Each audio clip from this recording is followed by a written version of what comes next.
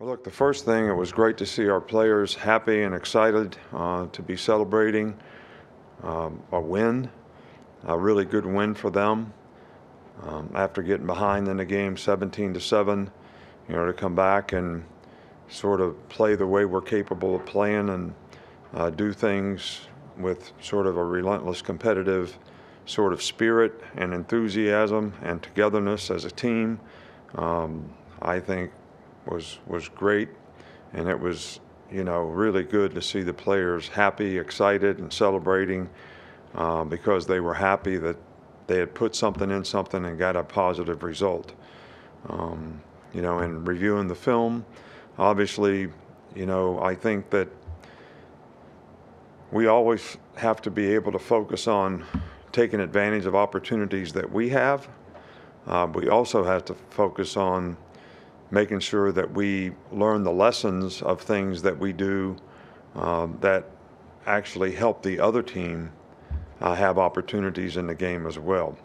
So those are all lessons to be learned. I think the focus needs to be on our team, what our team needs to do to uh, each individual on our team and each unit on our team. What do we need to do to improve? Uh, what do we need to do to try to do a better job with consistency and execution uh, in terms of what we do as coaches as well as how we get the players to stay focused so that we can execute with more consistency. You know, great to see Byron Young, SEC Defensive Lineman of the Week. He had a heck of a game. Will Reichard made some real key clutch kicks in the game. Um, it's great for those guys to get recognized. You know, Austin Peay, um, you know, Scotty Walden does a really, really good job there. Um, for FCS, you know, these guys are ranked, you know, in the top part of their division and just about everything they do. Uh, they're really good on defense. They got one of the top 10 defenses. Um, they average 450 yards a game on offense with a lot of balance. Quarterback does a really good job with them. Um, number 10, McCray, is a really explosive player that they do a good job of utilizing his talents. Uh, they got good returner. Um, so, you know, look, we need to prepare for this game like any other game that we play. Uh, we need to be ready to play well. Uh, they have enough people on their team to be able to take advantage of uh, any lack of execution, and certainly we want to focus on us being able to execute, you know, in a really positive way and try to build on the momentum right, of, you know, having a good second half and uh, improving to finish the season. Start over here on the right with Charlie. Yeah, Coach, you've talked throughout the season about the emphasis placed on turnovers. Is there something maybe you can pinpoint as a reason you guys have had so few of those this season? I, I, I can't. You know, it, it comes down to player awareness. Uh, it comes down to player focus. It comes down to, um, you know, on defense, you got to be physical. You know, when you're physical, you knock the ball off of people. Um, when you have good cleanup, all right, which means a lot of guys are getting to the ball, second guy in has a chance to take a shot at the ball. All these things are things that we emphasize, and we actually did better uh, in this last game, uh, but you know only got the result of one turnover. Had another chance to intercept the ball and you know didn't make the catch, but um, we just got to keep harping on it and keep working on it with our players to work on how do you get the ball out, when do you take shots at it, and um, try to do it better because this is this is something that you know has a significant impact on games, and we we need, we need to do a better job in that regard. How do you describe the vision and the footwork of Bryce Young in the pocket when the when the protection breaks down and he has to make things happen? Well, you know, we had three or four of our explosive plays, you know, in the game where, you know, whatever you want to call him, moving in the pocket, making people miss in the pocket. Uh, he's deceptively quick uh, to make people miss, um, especially if they're coming out of, out of, out of control. Um, but, you know, he does a fantastic job of having a feel in the pocket of when he needs to do it, and he's very good at doing it. And his ability to extend plays, and then our receivers have done a really good job when he does scramble of applying scramble rules to get where they need to get so they have an opportunity to make themselves available for the ball. So uh, that's that was good for us in the game. I mean, we I think we made three or four big plays on that that kind of thing. Up front, Nick Kelly. Uh, what would you say is the next step uh, in Ja'Corey Brooks' development? Corey Brooks has played really well for us. Uh, I mean, the guy's a dog. Uh, he plays great on special teams. Um, he'll block. He's physical. Plays hard all the time. Uh, makes contested catches. I mean, just you know, I'm sure that if you ask him, um, there's always things that you can improve on, um, whether it's releases, separating at the top of the break, wh- wh- whatever.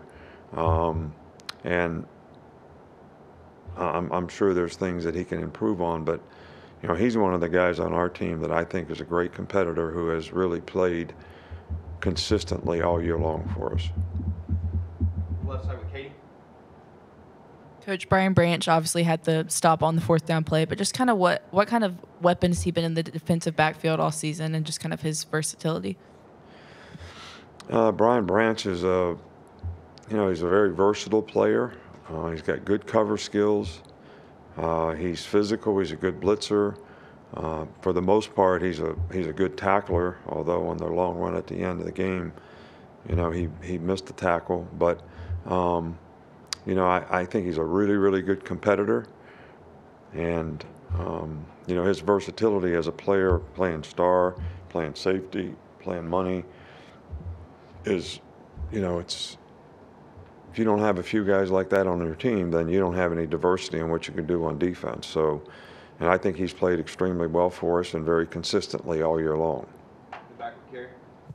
Hi, Coach. When some of those end of season goals are off the table, what's the biggest challenge in getting your team to play with that same consistency and intensity throughout the end of the season? Well, I think I think it comes down to a lot of the things that we talked about last week in terms of are you going to define your identity as a football player and as a football team, or are you going to let other people do it? Um, and you know, being the best that you can be as a player, uh, taking some of the things that have happened to us personally, uh, in terms of your pride as a competitor, and the consistency in our performance are all things that, if you are a competitor, you, you're going to respond. And I think our players did that in this game. Now, the challenge is, is are we going to continue it to finish the season? Up front here with Tony. What did you see from Terrion Arnold kind of stepping in for, for Eli against Ole Miss, and just what, what have you his ability to kind of just do that off the bench? Well, I mean, you saw the game. Um, yeah, I think Terrion Arnold plays really well when he plays with good technique.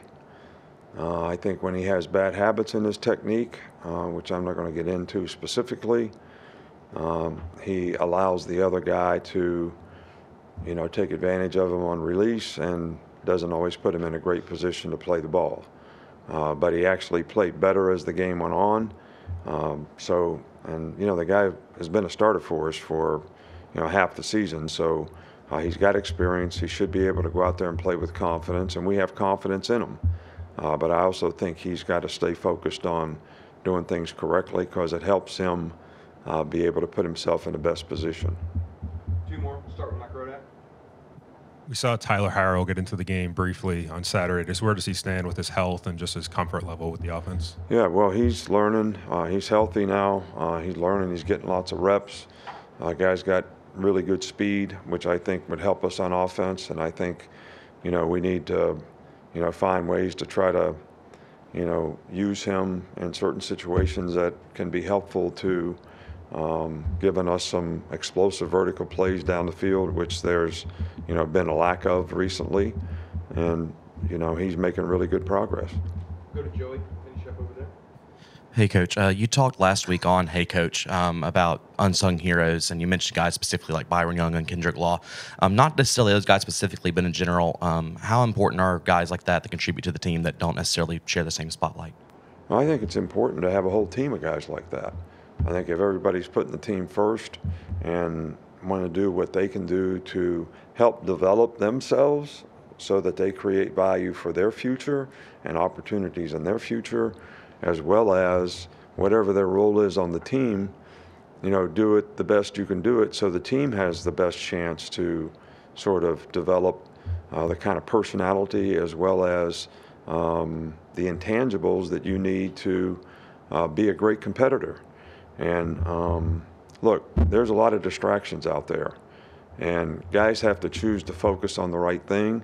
Um, can't worry about all the stuff, you know, you've heard me talk about it before uh, external noise, rat poison, whatever you want to talk, whether it's good, bad, or indifferent. When you step on the field to compete, you need to be focused on what you need to do to play the best you can to dominate your box against whatever the challenge is, whether you're an offensive lineman, a defensive back, a linebacker, it doesn't matter. And um, that's a challenge. It's more challenging now than it's ever been before. Uh, but it's important for guys that aren't starters on your team, don't even know if they're going to play, uh, to get ready to play so they can take advantage of the opportunity when they do play. Uh, because those opportunities will come at some point, and sometimes it's when you least expect them. And some of the young guys on our team have done a much better job of that this year uh, than I thought some of the guys did in years past. All right, thank you.